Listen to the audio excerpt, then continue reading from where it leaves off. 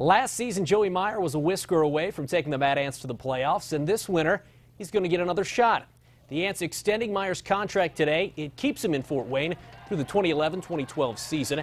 Meyer took over the Ants in June of 2009. He's got a 46-54 record in two seasons. Last year, the Ants set a franchise record with 24 wins.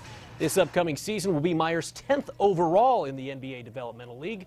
He's the D League's all-time winningest